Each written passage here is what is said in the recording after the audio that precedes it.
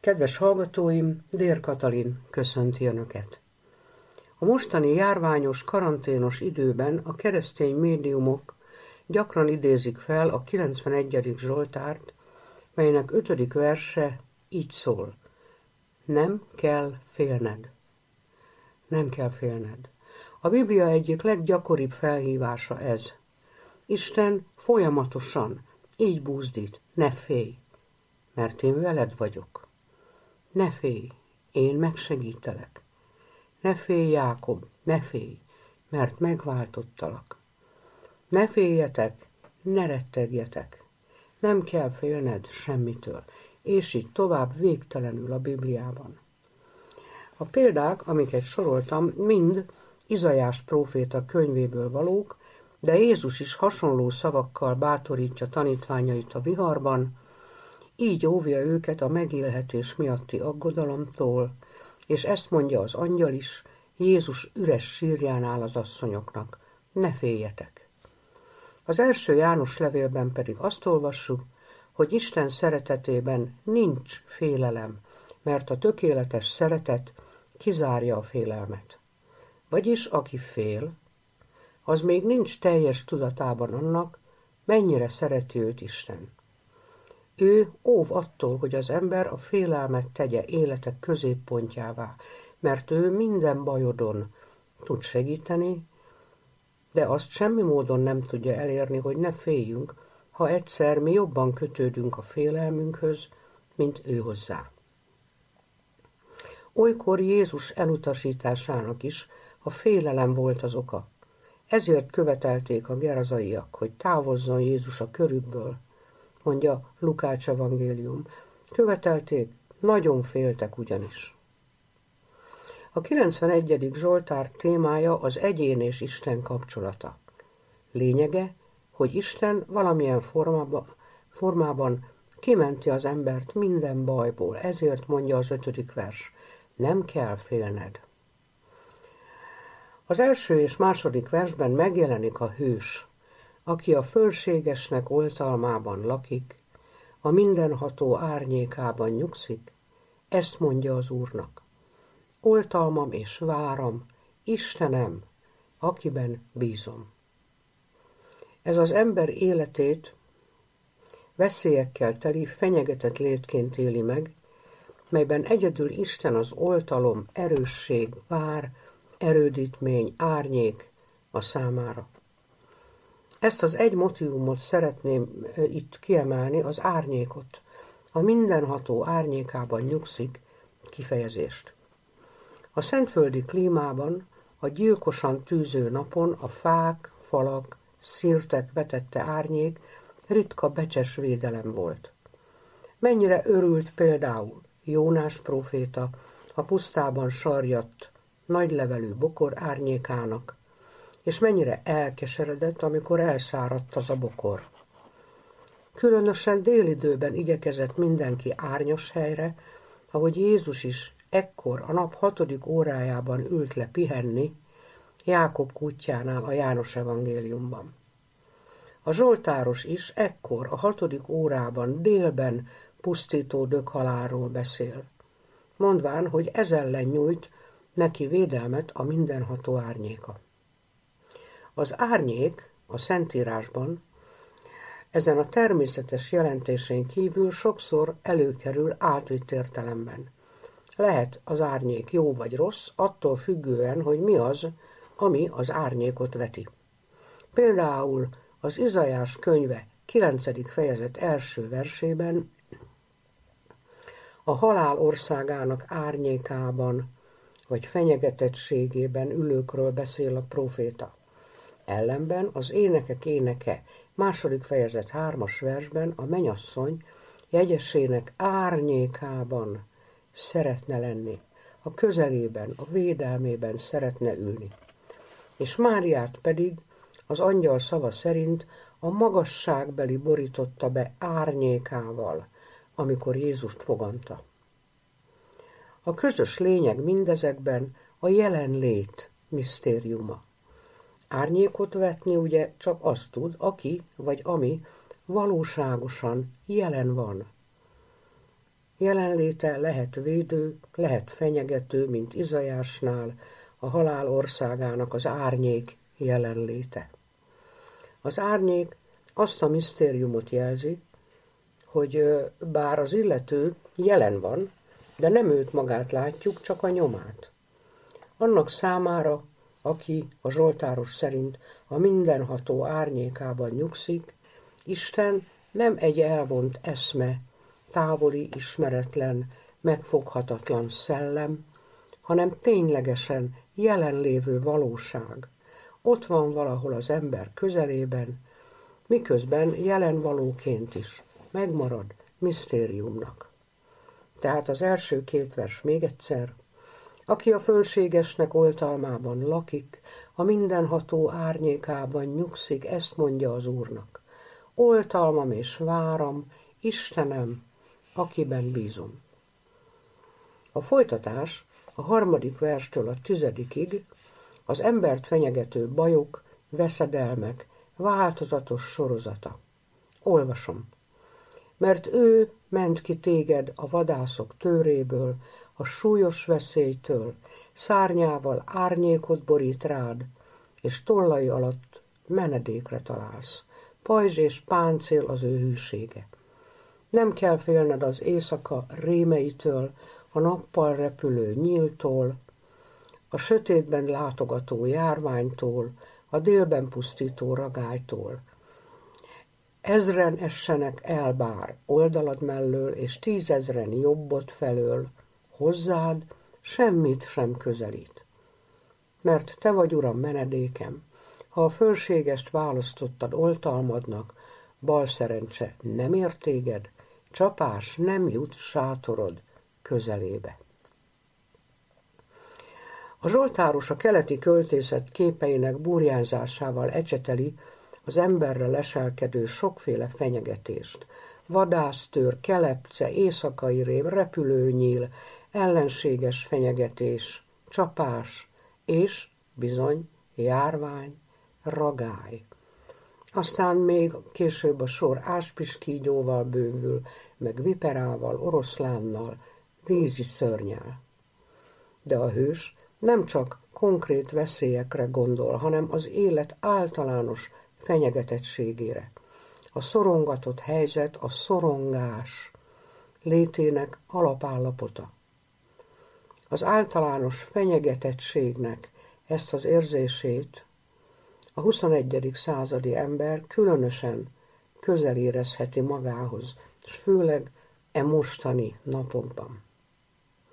Ám ez az egész baljós sorozat így kezdődik, hogy Isten megment mindezektől. Hát hogyan? Hogyan ment meg Isten az élet változatos veszedelmeiben? A Zsoltár háromféle mentésről szól. Az első Isten közvetlen oltalma. Itt az emberi bizalom és az isteni gondviselés közötti szoros összefüggés érvényesül. Ahhoz, hogy az ember elnyerje Isten védelmét, ahhoz bizalom kell, kérni kell, keresni, zörgetni kell, mondja Jézus. Minél nagyobb a bizalom Istenben, annál hatékonyabb az ő oltalma, és fordítva, minél inkább tapasztalja az ember az oltalmat, annál nagyobbra nő a bizalma. Ezt az összefüggést, ezt csak megtapasztalni lehet. Bizonyítani nem. A költő meg van győződve a bizalom és a védelem összetartozásáról. Így beszél. Én Istenben bízom, és ő megment engem. Vagy fordítva, az ember bennem bízik, és én megszabadítom őt, mondja Isten. Nem egyenlő felek, dehogy, mégis lehetséges ilyen kölcsön, kölcsönviszony köztük, mert Isten a maga kegyelmét, oltalmát, gondviselését szabadon, függővé tette az embertől, az ember szabad elfogadásától. Tehát ez a mentés első módja Isten közvetlen beavatkozása. Másodszor a folytatás, a 11.-12. vers arról szól, hogy Isten nem csak így, közvetlenül, hanem küldöttei, angyalai révén is vigyáz az oltalmát kereső emberre. Így szól ez a két vers. Mert angyalainak parancsolt felőled, hogy őrizzenek minden utadon. Kezükön hordoznak téged, hogy kőbe ne üssed a lábad. Hát azt gondolom, hogy nekünk is ideje ezekben a nehéz napokban szóba állnunk a magunk őrangyalával, védőangyalával, pártfogását keresni.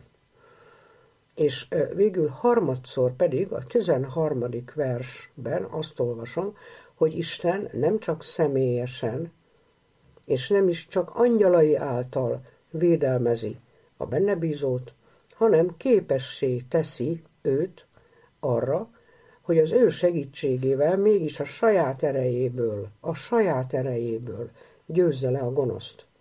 Így olvassuk. Áspis kígyón és viperán fogsz taposni, eltiprod az oroszlánt és a sárkányt.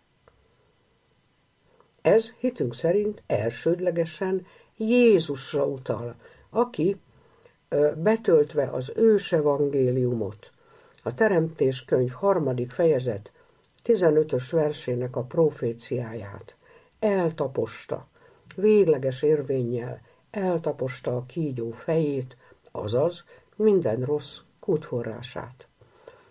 Tehát Jézus ugyanakkor minden Istenben bízó emberre is áll az ígéret, hogy az ő segítségével legyőzi a gonosz erőit a maga életében.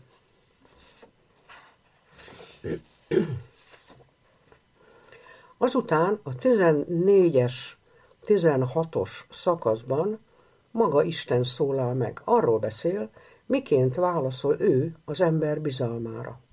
Ezt felolvasom. Mivel bennem bízik, megszabadítom. Oltalma leszek, mert ismeri nevemet. Ha kiált hozzám, meghallgatom. Szorongatás idején vele leszek, megmentem és megdicsőítem, betöltöm őt hosszú élettel, és megmutatom neki üdvösségemet. Nos hát, kedves hallgatóim, nem kevesebb, mint nyolc ígéret. Nyolc sorakozik itt.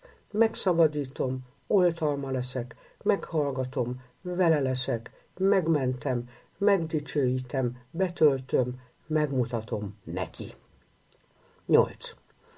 Az ígéretek egyszerre vonatkoznak a Zsoltár eredeti olvasóira, hallgatóira, a zsidó igazakra, vagyis a költőre és kortársaira, vonatkoznak azután a tökéletesen Istenre hagyatkozó ember Jézusra, és minden Istenben bízó emberre is vonatkoznak.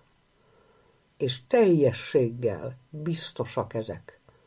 Hát legalábbis ezt emeli ki a hangvétel, amely nagyon határozott, a felépítés nagyon világos, szikár, precíz, mesterien elrendezett, ami mellőz minden fölösleges nyelvi cifraságot.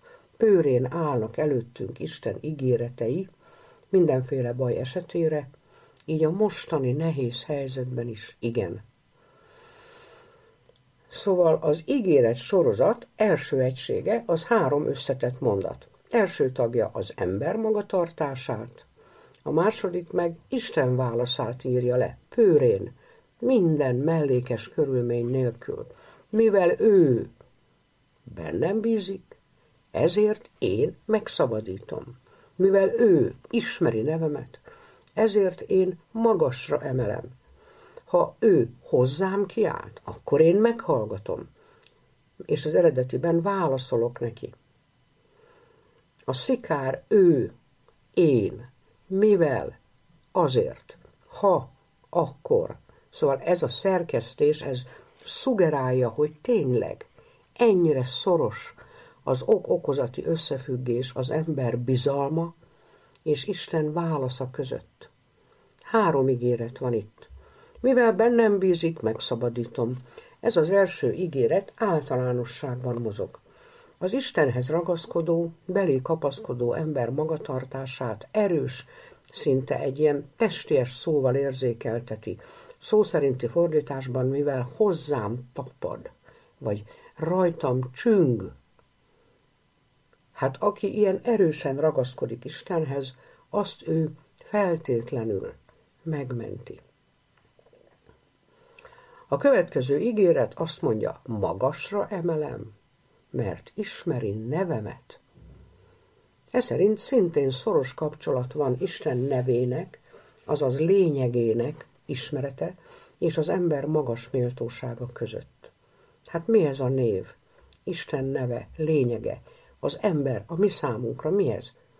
A kivonulás könyve harmadik fejezet 14-es versében, amikor Mózes Isten neve iránt érdeklődik, ő így nyilatkoztatja ki azt. Én vagyok az, aki vagyok. Vagy még inkább, én vagyok az, aki veled vagyok. Veled vagyok. Ő velünk levő Isten, ez az ő neve. Ez hangzik fel, és teljesedik be Jézus születésekor, akinek, úgy mond az evangélista, Immanuel lesz a neve, a lényege, ami azt jelenti, velünk az Isten. És ugyanezt halljuk az evangélium végén is. Jézus mennybe menetelekor. Én veletek vagyok. Minden nap, a világ végéig. Szóval így kezdődik, és így is végződik. Máté evangéliuma, a velünk lét ígéretével. Ez a kijelentés keretezi Jézus földi történetét, születésétől a mennybe meneteléig. Ez a neve, a lényege Istennek számunkra, hogy ő az emberrel van. Ez a név hangzott fel Mózesnek a kivonuláskor. Ez nyilvánult meg Krisztusban. És amikor a Zsoltárban azt olvassuk, hogy ismeri nevemet, lényegemet, hát akkor is erről van szó. Aki Istenre támaszkodik, az nem elvont teológiai ismerettel ismeri őt, hanem Immanuelként, vele lévő Istenként, lényegének, szeretetének a megtapasztalásából ismeri. És mi az, hogy magasra emelem? Ismeri nevemet, és én magasra emelem. Isten számára végtelenül értékes az ember. Azt mondja, mivel drága vagy a szememben, mert becses vagy nekem, és szeretlek. Ezt mondja Isten népének. Ezért írhatja a költő is, hogy Isten magasra emeli az embert.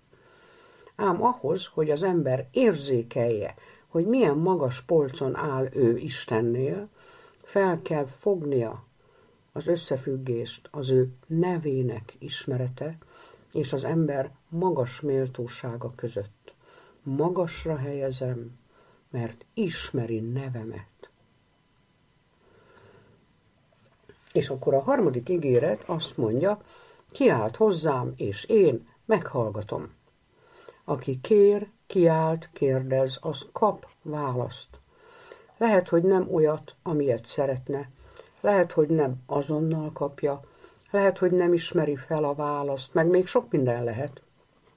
De egy biztos, válasz mindig van. Ahogy Jézus mondja, aki kér, az kap, aki keres, az talál, aki zörget, annak megnyittatik. Segítség mindig van, ha az ember erős hittel és kitartóan kéri, zörgetve, mondja Jézus, kiáltva, mondja a Zsoltáros. Aztán a folytatás arról szól, hogyan viselkedik Isten azzal, aki szorongatott helyzetben van. Hát nemes egyszerűséggel egy dolgot mond, egyetlen egy dolgot. Én vele leszek. Ennyi. És ez elég. Ez a legnagyobb, amit Isten ígérhet. Vannak nehéz helyzetek, amikor nem is tesz más, csak ott van az emberrel. Ott van. Amikor például egy profétát, vagy más választottját nehéz küldetéssel bízza meg, hát az illető gyakran kifogásokat keres. Jeremiás, uram, fiatal vagyok. Izajás, tisztátalan ajkú ember vagyok. Mózes, Nehéz beszédű ember vagyok. Péter, uram, menj el tőlem, mert bűnös ember vagyok. Stb. stb. Kifogásokat keresnek. Na, ilyenkor Isten és Jézus ezekkel nem foglalkozik. Nem. Nagyvonalúan, isteni úri eleganciával így szól. Te csak ne félj, mert én veled vagyok. Ennyi. És az illetőknek ez tökéletesen elég is, mennek a dolgukra. Isten nem a messze távolból mond valami okosat a szorongatott embernek, hanem mellette áll, Immanuelként, személyesen vállal vele sorsközösséget. A 91. Zsoltár istene tehát kétféleképpen kezeli az ember nehéz helyzeteit. Van, amitől megszabadítja, és van, amitől nem, hanem részt vállal a bajából. Ott van vele, szolidáris vele. A szorongatás idején vele leszek, mondja a Zsoltár. A harmadik, következő, utolsó élethelyzet az élet vége, a halál közeli állapot. Itt már az ember nem cselekszik, tehetetlen. Egyedül Isten az, aki cselekszik, sokféleképpen. Megmentem, mondja a Zsoltár, megdicsőítem, betöltöm, megmutatom neki. Tehát az élet végén az emberrel egy ilyen misztériumszerű eseménysor történik négy fázisban. Isten megmenti először is szenvedéseitől. Az eredetiben szinte kitépi a bűnnel és szenvedéssel eljegyzett földi életből, kitépi a halállal. A bűn és a halál közötti törvényszerűségből, amelyből csak egy másik, egy új törvény képes kimenteni az embert, ahogy Pálapostól fogalmaz. A Jézus Krisztusban való élet, szellemi törvénye megment engem a bűn, halál törvénytől. Attól a törvényszerűségtől, hogy a bűnös életet halál követi. Ezután Isten megdicsőíti az embert, vagyis nem fogadja közönösen őt, hanem örömmel elismeri azt, aki hűséges maradt, aki kiállta a szorongatásokat az életében. Harmadszor betölti élettel, tele lesz igazi, örök élettel az ember. És végül Isten megmutatja neki üdvösségét, az üdvözültek életét. Isten, mint valami idegenvezető, sorra tárja az ember elé üdvözítő működésének részleteit, a maguk sokszínűségében, változatosságában, kimeríthetetlen gazdagságában. Hát ilyen ez a 91. Zsoltár, kedves hallgatóim, és hadd zárjam az elmélkedést Szent Ágoston szavaival, aki az Isten városa című műve végén az üdvösséget a Zsoltárhoz nagyon hasonló történések soraként mutatja be. Szabadítás, látás, szeretés, dicsőítés folyamataként. Így szól Ágoston. Ott majd szabadok leszünk, és látjuk őt. Látni fogjuk, és szeretjük őt. Szeretni fogjuk, és dicsérjük őt, és ez lesz a vég végtelenül. Kedves hallgatóim, vigyázzanak magukra, Isten vigyázzon önökre. Dér Katalint hallották.